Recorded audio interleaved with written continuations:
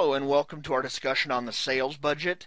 So this is the first starting point for our master budget discussion. And again, the reason I say it's the first is because as we'll see here, the sales budget is the first budget we need to complete. We need to know the sales before we can complete any other budget, whether that be the production budget, the materials budget, labor budget. We'll see that in just a bit, but we need the sales budget first.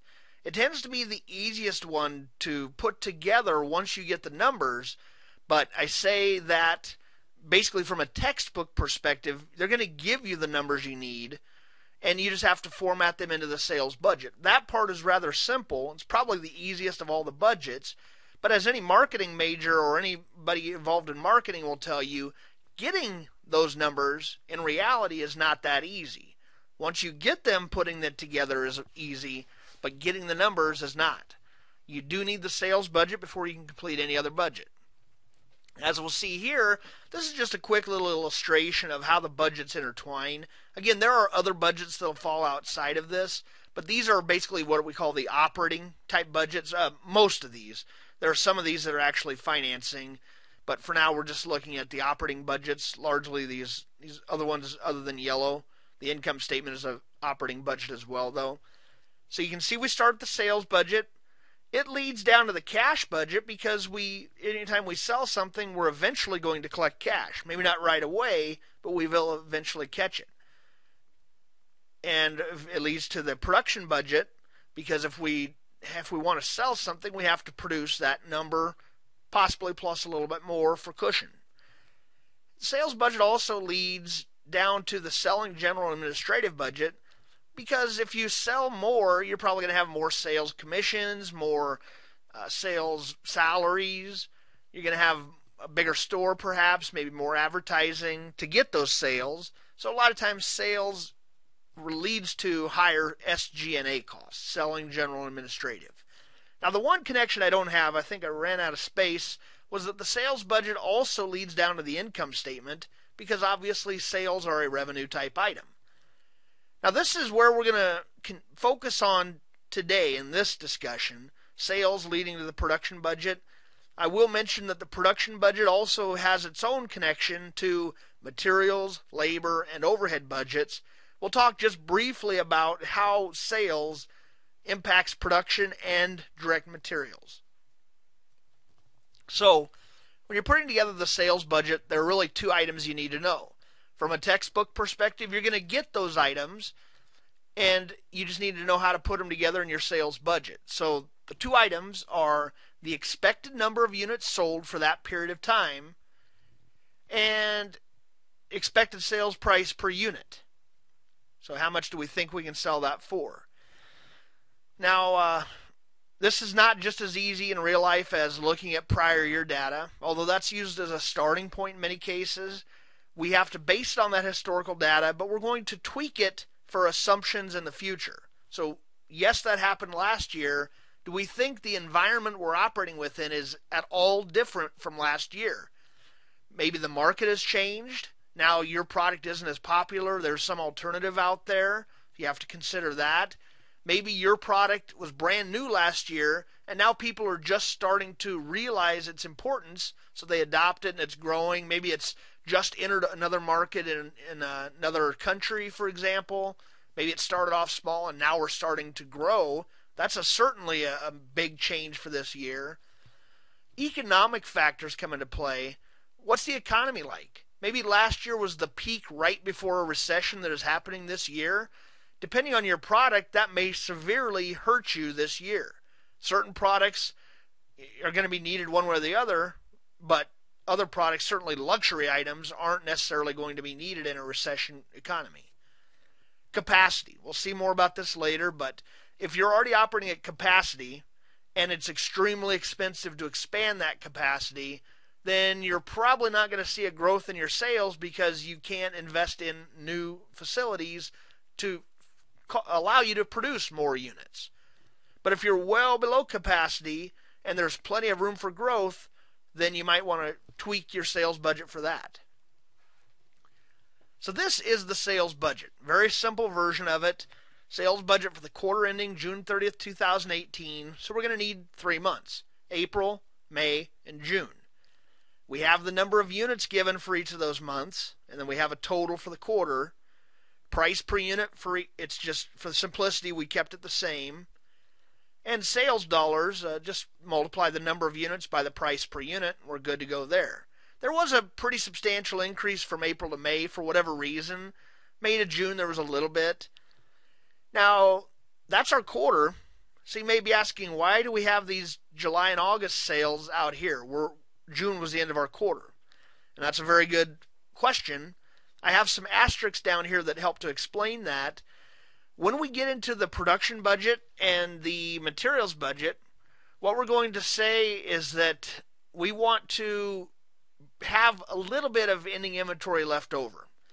So we don't want to produce just enough. In other words, we don't want to produce just 47,500 this quarter because really two reasons. First of all, our our expectation may be a little bit under the reality. We may have a demand for 48,000. But if we don't have any units, we can't sell it, we may very well lose the customer. Of course, there's a risk of it going the other way as well. We produce too many units. But that's just one reason we may want to produce a little bit more, just to allow for cushion. But another reason, perhaps even more important, let's say 47,500 was exactly what we needed for this quarter, but then we have some sales on July 1st. Depending on how long it takes to produce our units, we may not have anything ready to go on July 1st. Maybe it takes five days to produce those units. We don't want that to happen where we run out, we don't have anything on the first few days of a month. So that might be another reason to add in a bit of a cushion.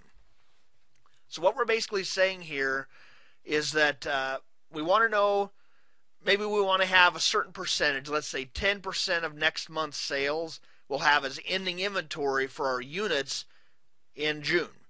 So 10% of July's inventory we're going to build into our expectations for June. We're going to produce yes, the 47,500 for that quarter plus uh, 1,500 to meet June's or July's expected sales, at least the start of them. So that's fine. That's why we need July to get June's production ending inventory. Why we need August? The reason for that is the budget right after the production budget is the materials budget, and it has the same idea, same concept. We don't want to just have enough materials on hand to barely cover production we might want to have a little bit of ending inventory left over to cover a little bit of the next month's production. So what that means is August's sales help us to get July's desired ending inventory for production units. That July's desired ending inventory for production helps us to know maybe we want 10% of July's production needs to get us uh, June's ending inventory for materials. So that's where this may come into play. And again, I have that explained down here. So now we're going to go through those three elements I talked about a bit ago the market. What do the customers want or need? What features are they expecting? What type of product? Is this a short term need, a long term need? Are they going to need replacements of that product, or is it buy one, you're done for the rest of your life? Are you positioned to provide it to them? Do you have the equipment, the skilled labor, all the finance available to meet those needs? How strong is your competition? If you're if you've just developed a brand new product, you have a patent on it, and there's nothing anywhere near uh, its functionality, then you really don't need to worry about this perhaps too much right away. But if you're in a competitive environment where there are a lot of alternatives, it's been it's an old industry. There are a lot of alternatives out there. Then you have to be aware of your position in the industry. How strong is your competition? What market share do you currently have? Do you just have a little bit and you're planning on expanding? Do you already have the large majority of the market share and therefore you have a target on your back, people trying to pull that market share away? You just want to understand this as you're building your sales expectations. Capacity. So even if there's demand for a million units, if you only have the capacity to produce 10,000 units, and if you're not able to or willing to invest in a capacity increase, maybe it's very expensive, then that demand really doesn't matter. If you're already selling 10,000 units and that's all you have the capacity for, you can't expect an increase in the next year unless you decide to invest in new capacity. The other thing about capacity, when you're deciding whether or not to invest in new capacity, think about the demand for that product right now and whether you think that demand is sustainable. So, is this just a hot product right now that you know things are going to change? It's not going to be as popular next year. There's going to be the next best thing. If that's the case, you may not want to expand in capacity if it can only be used for that product. Very specialized equipment, very specialized training, things like that that don't parlay into another product type down the road. That's where you may want to be careful. So that takes us to the end of the sales budget itself, that particular discussion. Again, this is the starting point. We are going to cover all of the various budgets in our different lectures here production, materials, labor, overhead, all of that stuff we will cover, but the sales budget starts it all. So I thank you for your time today, and I look forward to talking to you in our later sessions.